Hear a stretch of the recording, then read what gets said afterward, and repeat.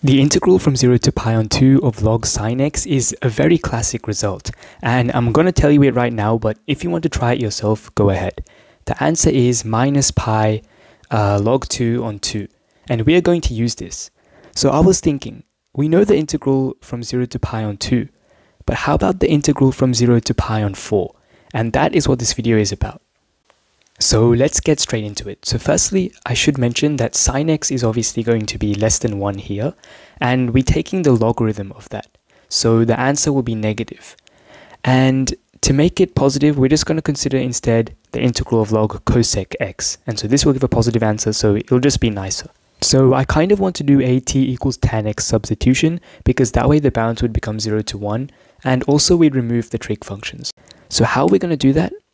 Well, we're going to multiply by 2 and divide by 2 like this.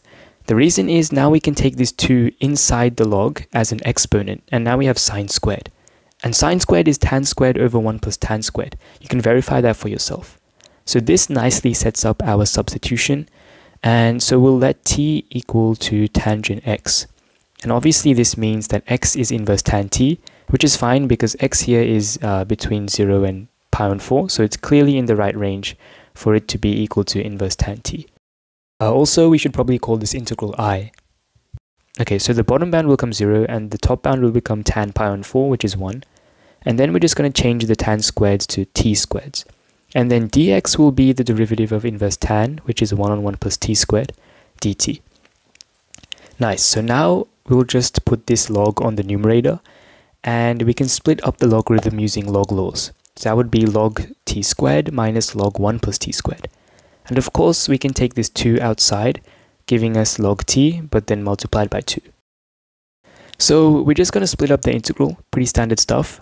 We'll get uh, log t over 1 plus t squared, and then we'll have plus half the integral of log 1 plus t squared over 1 plus t squared.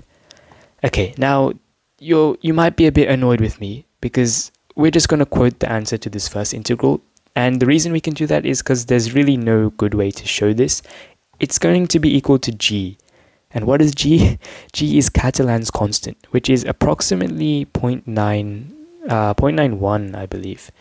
And yeah, it's really weird. You can look this up and see what's the meaning of Catalan's constant, but but I've seen this integral before and I just know it's Catalan's constant, so I might as well quote it. So now we're going to do a t equals tan x sub on this second integral because you see we have 1 plus t squareds everywhere. It kind of makes sense. And then that means dx will be 1 on 1 plus t squared dt. And that's good because we actually have that exactly in the integrand. So we'll just replace that with dx later. But the bounds will become uh, tan inverse 0 to tan inverse 1. Okay. And then this will be a tan squared. And then 1 on 1 plus t squared dt, we can just replace that with dx. Nice. So we just have this logarithm here. And 1 plus tan squared is obviously sec squared. And that is cos x to the minus 2. And now we can take this minus 2 power outside the logarithm, giving us this. Okay, now we've done a substitution and the integral looks pretty similar to the original integral. So we have log cosec, that was what i was equal to. So just recall that. And now what we're going to do is we're going to add i to itself. And that's a pretty common trick for uh, definite integrals, especially when it helps. So we have 2i on the left, and then we're going to just divide by 2 to give back i. So let's carry over these halves. And then, yeah. So now we can rearrange this. Uh, so, and now we can combine these two integrals into one integral giving us this, and using log laws, we have log cosec over cos, and that is just 1 on sine x cos x. Of course, we can take this minus sign out of the integrand, giving us log sine x cos x, and now this is a good chance to use the double angle.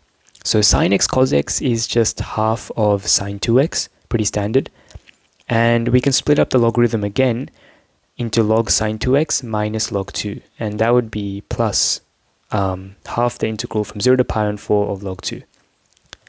Okay, now pi on 4, we can just take that down. So this integral would be pi on 4 log 2, and we have a half here, so it would actually be pi on 8 log 2. And now this 2x here is just pretty obvious. We're going to do a u substitution, letting u equal to x. So our integral becomes the integral from 0 to pi on 2 now because the bounds have doubled and we have sine u in the logarithm and then half du. And of course this is just the perfect time to quote the integral of log sine which is just too cool not to quote and the answer is minus pi log 2 on 2. And there we go, we've actually removed all the integrals and now we're just going to simplify. So we have uh, log 2 here and we have two of these terms. So we're going to just have pi on 4 log 2 and amazingly, the integral from 0 to pi on 4 of log, uh, yeah, log cosec x is g on 2 plus pi on 4 log 2. We have Catalan's constant, pi, and log 2 all in one answer.